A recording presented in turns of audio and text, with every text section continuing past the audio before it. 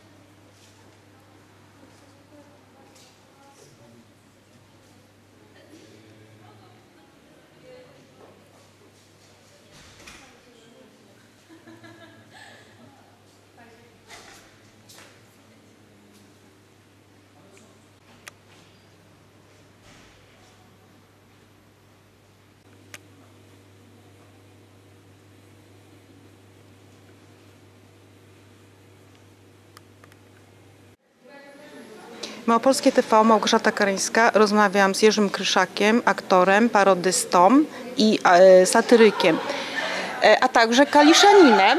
Także, a przy okazji satyrykiem, jak to widać, e, satyryk w krótkich spodenkach. Em, Kaliszaninem tak, jak najbardziej. I zawsze będę wspominał Kalisz i zawsze będę tym Kaliszem sobie gdzieś żył, bo to jednak jest, jednak to jest moje gniazdo, moje miasto, moje wszystko, tak? Moje wszystkie pierwsze razy to, to był Kalisz, więc Kalisz zawsze u mnie zostanie taką, e, takim miejscem pierwszym. Jak kiedyś widziałem w Afryce w styczniu bociany, jak zobaczyłem takie stado, powiedziałem, o, Polacy. Więc e, Więc tam, gdzie jednak ktoś się urodził, to jednak tam, e, tam jednak zostanie. To jednak tu gdzieś była moja gwiazda i ona tutaj będzie zawsze mi świecić. Dzisiaj wystąpi Pan z koncertem charytatywnym z Mietkiem Szcześniakiem, również kaliszaninem. E, Do projektu w tym koncercie charytatywnym e, zaprosił Pan Mietka, dlatego że łączy Was wspólna przyjaźń i miłość do tego miasta. No niewątpliwie tak. No i jak do mnie zadzwoniono w tej sprawie, pomyślałem sobie, że e, ja to ja tak naprawdę e, Mietek jest tak e, genialnym e, artystą. Naprawdę e, szukać ze świecą. Ja Mietka w ogóle uwielbiam latami od lat, od lat, od lat. W związku z tym pomyślałem sobie, że dobrze byłoby, gdybyśmy tu razem, skoro jesteśmy razem e, z Kalisza, możemy coś zrobić, cokolwiek, chociażby tak zwaną jedną, tak zwaną cegiełkę się przyłożyć e, do, e, do, do tego centrum, które ma powstać w miejscu, które dla mnie jest mi rzeczywiście, no pewnie jedno też z bliższych miejsc, choćby z racji samego mojego miejsca urodzenia, bo ja się urodziłem pod trójką, a pod dziewiątką była fabryka. A za mojego podwórka można było przejść przez siatkę do, e, na, na tereny fabryki i tam w stertach e, drewno się sezonowało latami, latami, latami. Więc ja z tą fabryką byłem, można powiedzieć, przez płot. I również e, nie tylko znałem e, dziewczyny, mówię o figurównach, em, e, ale też jakby przeszedłem, nawet to dzisiaj chcę powiedzieć, że przeszedłem tak zwaną pierwszą, pierwsze doświadczenie polityczne, znaczy pierwszy ten wielki znak zapytania, kiedy pewnie miałem z 10 coś 9 lat, mi się, mi się bardzo podobała ta willa obok fabryki, była taka jakaś niecodzienna, nie, nie, nie, nie kamienica, tylko taka willa wciśnięta. I wtedy już wiedziałem, jak mi powiedziano, że to em, tu, tu mieszka dawny właściciel fabryki, który już nie jest właścicielem. Więc jak ja się zastanowiłem, dlaczego nie jest ktoś właścicielem, skoro jego dziadek był właścicielem, jego ojciec był właścicielem, a ten ktoś jest tylko dyrektorem, a potem tylko już kierownikiem, bo już, że tak powiem, nadał, że tak powiem, cel tej fabryce już nie był tak potrzebny, no to e, chętnie z niego zrezygnowano, czyli sobie pomyślałem, to jest tak, jakby mnie ktoś e, e, wyrzucił z domu, tak? I, i, I mówi, to ja tu teraz mieszkam, ale ty tu możesz pełnić funkcje administracyjne. To znaczy patrzeć, kto wychodzi, kto, kto przychodzi, możesz wpuszczać, ewentualnie reagować na dzwonek do drzwi. No więc pomyślałem, że chyba coś to jest nie tak, skoro to było czyjeś, a teraz jest niczyjeś. Znaczy moje również było, tak? Wedle zasad realnego socjalizmu to wtedy było również moje. W zasadzie mogłem wejść i wynieść jakieś pianino, bo przecież to było e, socjalistyczne, nasze wspólne, wspaniałe, wielkie dzieło. Jeżeli teraz ja w zeszłym roku byłem, nawet jeszcze nie wiedząc o tym pomyśle wcześniej, byłem w tej fabryce, bo taki był kręcony filmik o, o mojej obecności w Kaliszu i, i o Kaliszu e, wraz ze mną. I z, moim życzeniem było, żeby się znaleźć w tej fabryce i weszliśmy tam. No to wrażenie jest rzeczywiście przykre bardzo, bo ja pamiętam jak tam się krzątali ludzie, jak chodzili, jak schodzili, jak wchodzili, jak ta fabryka żyła. A słyszałem dźwięki w ostatniej, chyba z ostatniego piętra, gdzieś tam był ten etap końcowy i było strojenie, więc to wszystko, ja to gdzieś słyszałem przez spod, przez... i teraz to, to, to zamarło, to znaczy ktoś popełnił błąd jakiś, tak, to, że nie może, no oczywiście można zrównać to z ziemią w tej chwili, rozebrać cegła po cegle i ale dlaczego? Dlaczego nie można tego wykorzystać, jak służyło kiedyś?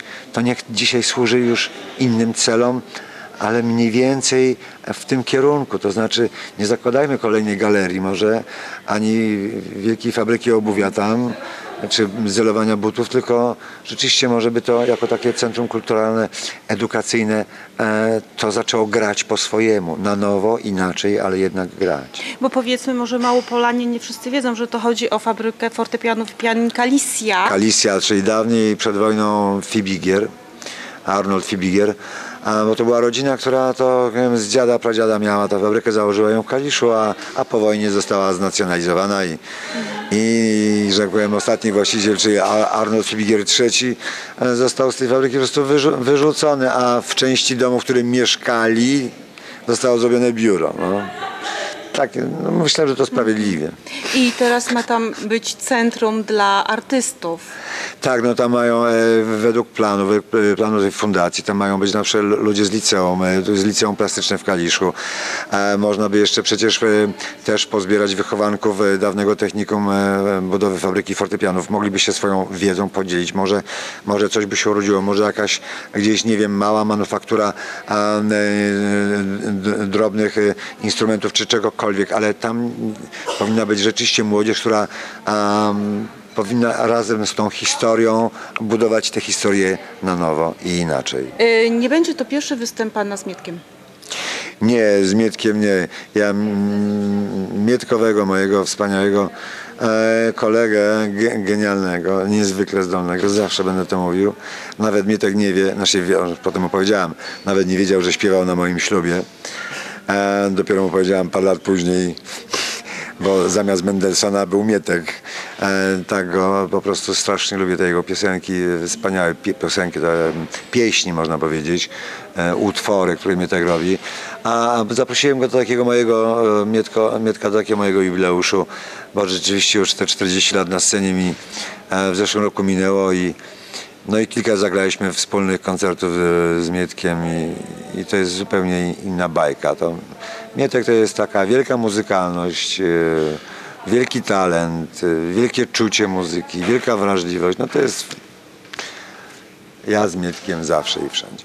Jest pan kojarzony z filmami komediowymi, z rolami komediowymi, między innymi Alternatywy, ale także z Polskim Zoo, gdzie naśladował pan y, różne głosy od Lecha Wałęsy poprzez y, generała Wojciecha Jaruzelskiego. E, tak, e, generała już nie będę parodiował. No już nie w tej chwili, ale... To raczej się musiało odbywać w ciszy. Natomiast e, to wszystko było wynikiem, to ani mój talent, ani zdolności, to był po prostu przymus. A z racji tego, że kolega, który robił większość głosów do, do, do programu, ze dwa razy zachorował, nie dojechał, z Radomia on dojeżdżał i musieliśmy po prostu podzielić te postacie, żeby pr- program dalej e, szedł. W związku z tym rozdzieliliśmy sobie z Andrzejem e, kilka tych postaci, to ja zrobię tego, to ty weź tego, no to ja zrobię tego, to ty weźmiesz tego. No i tak usiłowałem robić podobnie to jak ten nasz utalentowany kolega, który robił te głosy naprawdę fenomenalnie. A myśmy tylko szli jego drogą. On nam tę drogę wytyczył, myśmy na tę drogę weszli. No i tak mi jakoś potem to zostało. Ja mówię, ja nie parodiuję kompletnie, zawsze będę prostował. Ja nie parodiuję, bo nie mam do tego w ogóle zdolności. Życie mnie zmusiło tylko do tego, że czasami cytuję czyjś głos albo wypowiedź, jeżeli to mi jest potrzebne. A który był najtrudniejszy? Lecha Wałęsy? Czy... Nie, Lech, Nie? jest, nie, ja tak czasami powiedziałem, że już czasami myślę jak, czasami to e, mogę powiedzieć sobie, że myślę jak, jak Lech Wałęsa, albo mogę się wypowiedzieć w każdej chwili jak Lech Wałęsa. E, tak już z nim na tyle obcowałem, em, żeby go posłuchać, jak mówi, że ja już w, każdej sytuacji wiem, co mógłby powiedzieć, mniej, mniej więcej, tak? Ale najtrudniej ja wiem, z kim było, chciałem robić... em, naj, najtrudniej, bo tak, no, był, do, był do, do zrobienia głos na przykład Kwaśniewskiego. W żaden sposób. Po prostu w żaden sposób. To jest taki głos środkowo-europejski. I nic. Bez takich charakterystyk. On oczywiście ma swój charakter. W dźwięku można go rozpoznać, tak? Natomiast, żeby go zrobić, bardzo było trudno.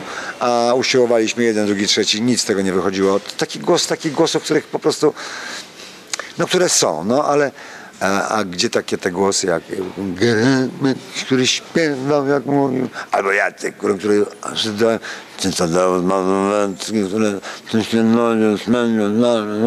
i to wszystko było takie, czy Jaruzelski jak cmokał. Ja dopiero usłyszałem jak on cmoka, jak tak się posłuchałem w ciszy, kiedy mówię, co on tam się dzieje, a on tak po prostu miał takie i to było wszystko e, tak charakterystyczne, że łatwo było wziąć ten długopis i to poszerzyć flamaster i, i, i ten głos był.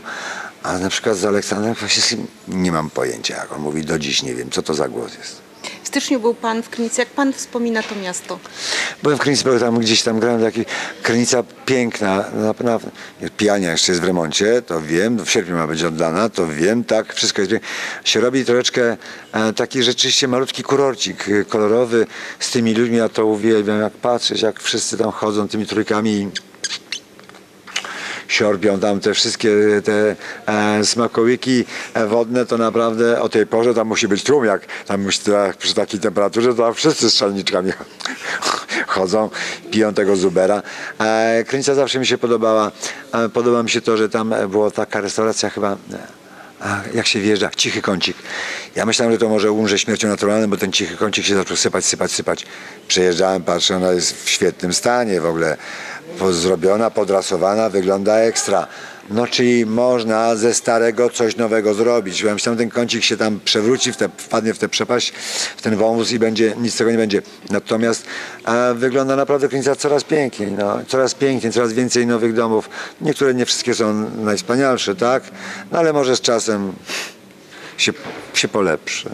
E, jakie ma pan najbliższe plany artystyczne? Yy, najbliższe plany to dzisiaj wracam do domu.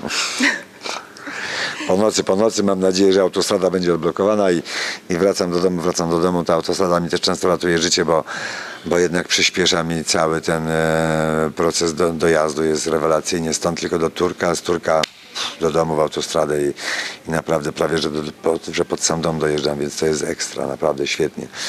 A poza tym co, no robię to, co robię i, i koniec, troszeczkę waka- wak- a ja myślę o wakacjach właśnie też będę jechał z 1600 kilometrów e, z moją kochaną żoną, rodziną, pojedziemy sobie i, i chcę zapomnieć na dwa tygodnie wszystkim. A zwłaszcza o wszystkich wydarzeniach e, politycznych w Polsce, o tych e, wszystkich e, napaściach jeden na drugiego, atakach. Chcę zapomnieć o tym, że Jarosław Kaczyński był w szpitalu i mam nadzieję, że już wyszedł.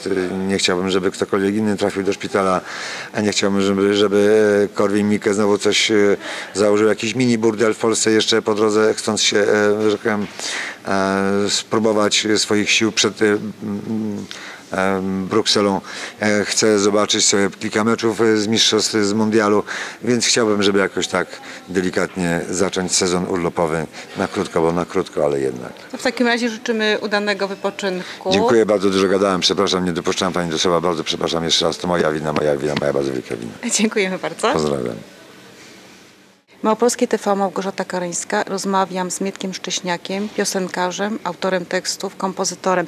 Mietku, tym razem spotykamy się w niecodziennej scenerii, w niecodziennym koncercie charytatywnym. Wystąpisz z artystą, z Jerzym Kryszakiem. To nie jest pierwszy wasz wspólny występ. Nie, nie. Ju- Jurek jest z Kalisza i oprócz tego e, cieszę się jego koleżeństwem i e, zaprosił mnie na swój jubileusz. To był cykl koncertów po całej Polsce. Przez wiele miesięcy graliśmy razem. E, I przy okazji tego, tego zajścia, zbierania pieniędzy na, na zabytkowy i wyjątkowy budynek w Kaliszu, czyli na byłą fabrykę fortepianów i pianin, szkołę też, której nie ma już. E, jak ci się współpracuje z Jerzym Kryszakiem? Świetnie. Kapitalny kolega, świetny artysta. E, bo będzie to koncert e, wokalno-kabaretowy. Tak. I jakie usłyszymy piosenki w twoim wykonaniu? Y, Kilka piosenek raptem, bo studenci jeszcze występują przed nami. Jurek ma też swoje dwa bloki. Ja zaśpiewam kilka piosenek z, z moich ostatnich płyt po prostu.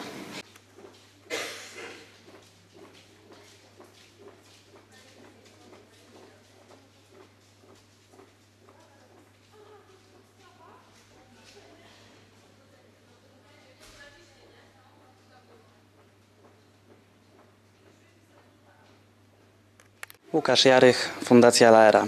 Jesteśmy w Kaliszu, w e, Uniwersytecie Adama Mickiewicza. To tutaj odbędzie się charytatywny wieczór z gwiazdami, e, na które zaproszenie przyjął Mieczysław Szcześniak i Jerzy Kryszak. Wieczór e, poświęcony fabryce fortepianów i pianin Arnolda Fibigera w Kaliszu. Fabryki, której już nie ma, a o którą warto walczyć. Budynek z ogromną historią, a pozostawiony sam sobie, pozostawiony e, niszczącemu upływowi czasu. Em, Chcemy utworzyć w tym budynku centrum edukacyjno-kulturalne, miejsce, które będzie przeznaczone dla młodych ludzi, e, młodych ludzi z pasją, którzy nie mają gdzie e, pokazać e, swoich e, e, prac, nie mają gdzie e, zorganizować e, koncertu, a to będzie właśnie takie miejsce dla nich. Fundacja Lera oprócz dzisiejszego koncertu e, organizuje ogólnopolską zbiórkę publiczną, e, podczas której sprzedawane są cegiełki wartościowe w wartości 10 zł, 25 zł, 50 i 1000 zł. Wszystkie te pieniądze, które, które zbierzemy, przeznaczymy na uruchomienie Centrum Edukacyjno-Kulturalnego. Szukamy e, osób e, z pasją, szukamy osób, które e, wesprą nasze działania. Któregoś dnia gaśnie nam słońce. Gaśnie wszystko. Przedmioty, powietrze i twarze. Pytamy, co to za kula jarzy się w przestrzeni, tak śmiertelnie dająca cień. Jest czasem taki dzień i nic na to poradzić nie można i, i wytłumaczyć ci tego nie potrafię. Bezradności nie ma słów. Wtedy po omacku szukam Twojej twarzy. Poznaję znajome rysy i ulga nie przychodzi. Przychodzi rozpacz, że tyle samotności jest w każdym z nas. Któregoś dnia gaśnie nam wszystko. I wtedy widzimy już jasno, że nie było tego, czego nie, nie było. Że nie będzie tego, czego nie będzie i w przeżartym przez cień czasie siedzę w ciszy, w porażeniu. I tylko dlatego oczekuję na ulgę, że mówisz, że nią jestem dla Ciebie. Jeśli będziesz umierał i ktoś Ci powie, że będzie pamiętał o Tobie, przychodził na Twój grób, pilnował domu, podlewał kwiaty, to znaczy, że całe życie byłeś sam. Bo jeśli będziesz umierał, to musi być ktoś taki, kto weźmie cię za rękę i powie umrę z tobą. Bo tylko tak można umierającemu powiedzieć. Wtedy może zdążysz jeszcze pomyśleć, że byłeś chociaż z jednym człowiekiem. I powiem to samo w przestrzeni, co mówię od wieków. Nikt nie zginął z miłości, tylko z jej braku, a czas nie zabierze mi dnia,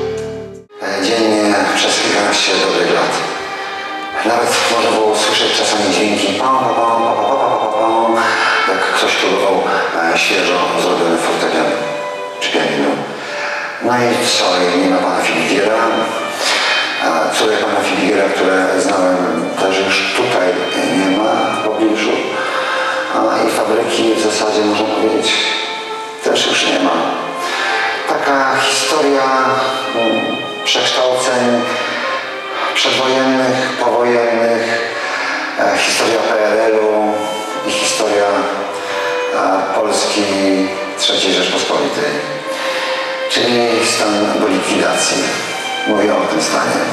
Ktoś robił błąd, to najczęściej to ludzie robią błędy.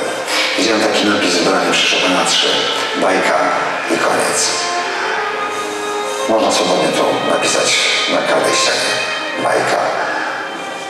Koniec. Lubię czasem przypomnieć komuś, że w Kaliszu była taka fabryka, wspaniałych instrumentów. Nie lubię mówić